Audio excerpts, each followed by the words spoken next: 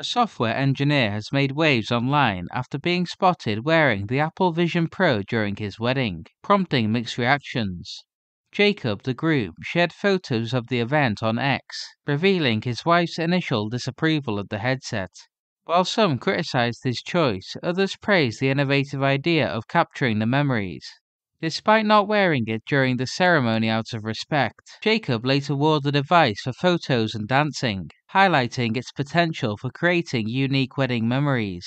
As the nearly $4,000 headset gains popularity, Jacob's unconventional choice might just pave the way for others to embrace technology on their special wedding day.